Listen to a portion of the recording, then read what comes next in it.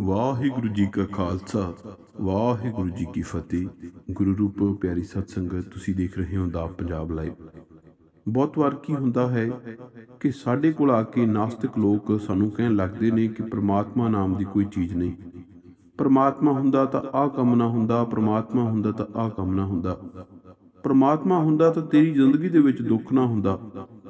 ਪਰਮਾਤਮਾ ਹੁੰਦਾ ਤੇ ਤੈਨੂੰ ਸੁੱਖਾਂ ਦੇ ਨਾਲ ਭਰਿਆ ਹੁੰਦਾ। ਅਕਸਰ ਉਹਨਾਂ ਦੀ ਗੱਲਬਾਤ ਤੇ ਦਲੀਲ ਇਸ ਤਰ੍ਹਾਂ ਦੀ ਹੁੰਦੀ ਹੈ ਕਿ ਸਾਨੂੰ ਕਿਤੇ ਨਾ ਕਿਤੇ ਮਹਿਸੂਸ ਕਰਨ ਲਾ ਦਿੰਦੇ ਨੇ ਕਿ ਪ੍ਰਮਾਤਮਾ ਨਾਮ ਦੀ ਚੀਜ਼ ਕੋਈ ਨਹੀਂ।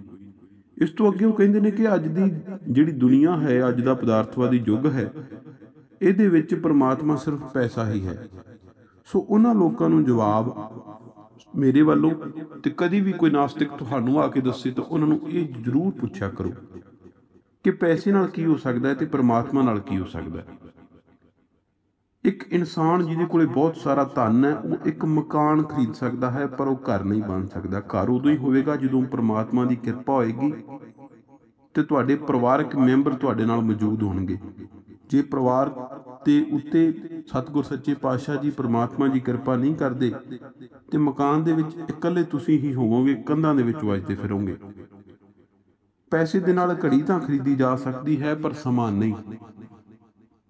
ਪੈਸੇ ਦੇ ਨਾਲ ਕੋਈ ਇਨਸਾਨ ਆਲੀਸ਼ਾਨ ਬੈੱਡ ਖਰੀਦ ਸਕਦਾ ਹੈ, ਗੱਦੇ ਖਰੀਦ ਸਕਦਾ ਹੈ, ਬਿਸਤਰੇ ਖਰੀਦ ਸਕਦਾ ਹੈ, ਪਰ ਨੀਂਦ ਆਉਣੀ ਹੈ ਕਿ ਨਹੀਂ, ਇਹ ਪ੍ਰਮਾਤਮਾ ਦੇ ਹੱਥ ਵਸ ਹੈ। ਬਹੁਤ ਸਾਰੇ ਲੋਕ ਇਹੋ ਜਿਹੇ ਨੇ ਆਲੀਸ਼ਾਨ ਗੱਦਿਆਂ ਦੇ ਉੱਤੇ ਪੈ ਕੇ ਥੱਬਾ ਗੋਲੀਆਂ ਦਾ ਖਾਂਦੇ ਨੇ, ਇਸ ਦੇ ਬਾਵਜੂਦ ਵੀ ਨੀਂਦ ਨਹੀਂ ਆਉਂਦੀ। ਕਿਉਂਕਿ ਪ੍ਰਮਾਤਮਾ ਦਾ ਭੈ ਜਦੋਂ ਸਮਾਂ ਸੀ ਉਦੋਂ ਨਹੀਂ ਮੰਨਿਆ, ਉਦੋਂ ਖੁਦ ਨੂੰ ਰੱਬ ਮੰਨਦੇ ਰਹੇ। ਇਸੇ ਤਰੀਕੇ ਨਾਲ ਪੈਸੇ ਵਾਲਾ ਇਨਸਾਨ ਜਿੰਨਾ ਚਾਹੇ ਉਹ ਖਾਣਾ ਖਰੀਦ ਸਕਦਾ ਹੈ, ਪਰ ਉਸ ਨੂੰ ਭੁੱਖ ਲੱਗਣੀ ਹੈ ਕਿ ਨਹੀਂ, ਇਹ ਪਰਮਾਤਮਾ ਤੇ ਨਿਰਭਰ ਕਰਦਾ ਹੈ।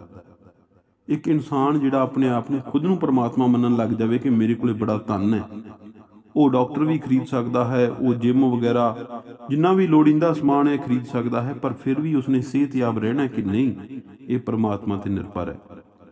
ਬਹੁਤ ਵਾਰੀ ਤੁਸੀਂ ਦੇਖਿਆ ਹੋਵੇਗਾ, ਅਜਿਹੇ ਲੋਕ ਨੇ ਅਜਿਹਾ ਰੋਗ ਹੋ ਜਾਂਦਾ ਜਿਹਦਾ ਨਾਮ ਪਹਿਲੀ ਵਾਰੀ ਸੁਣਿਆ ਹੁੰਦਾ ਹੈ। ਤੇ ਉਹਨਾਂ ਕੋਲੇ ਦੁਨੀਆ ਦੀ ਦੌਲਤ ਹੋਣ ਦੇ ਬਾਵਜੂਦ ਵੀ ਉਹਦਾ ਕੋਈ ਹੱਲ ਨਹੀਂ ਲੱਭਦਾ। ਸੋ ਹਮੇਸ਼ਾ ਅਸੀਂ ਪਰਮਾਤਮਾ ਦਾ ਸ਼ੁਕਰੀਆ ਅਦਾ ਕਰੀਏ।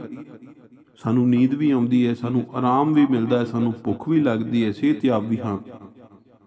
ਸਾਡੇ ਕੋਲੇ ਆਪਦੇ ਪਰਿਵਾਰ ਲਈ ਵੀ ਸਮਾਂ ਹੈ, ਸਾਨੂੰ ਪਰਿਵਾਰ ਵਾਲੇ ਵੀ ਸਮਾਂ ਦਿੰਦੇ ਨੇ, ਪਰਿਵਾਰ ਦੇ ਨਾਲ ਬੈਠੇ ਆ ਚਾਹੇ ਸਿਰ ਦੇ ਉੱਤੇ ਕਾਨਿਆਂ ਦੀ ਛਾਤੀ ਹੋਵੇ, ਪਰ ਫਿਰ ਵੀ ਇਸ ਨੂੰ ਘਰ ਕਹਿੰਦੇ ਆ ਮਕਾਨ ਨਹੀਂ, ਕਿਉਂਕਿ ਮਕਾਨ ਤਾਂ ਉਹ ਹੈ ਜਿਹੜਾ ਇੱਟਾਂ ਦਾ ਬਣਿਆ ਹੈ।